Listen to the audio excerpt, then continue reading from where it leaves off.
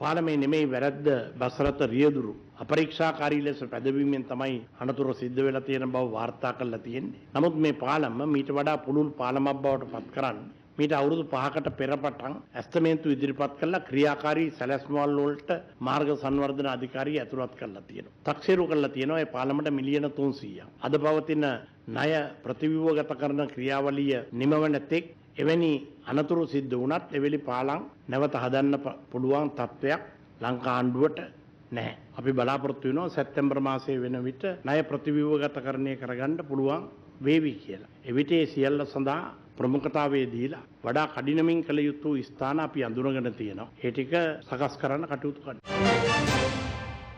දිනපතා අලුත් වීඩියෝ සහ ප්‍රවෘත්ති නැරඹීමට ඉහත බටන එක ක්ලික් කර සියත TV සබස්ක්‍රයිබ් කරන්න.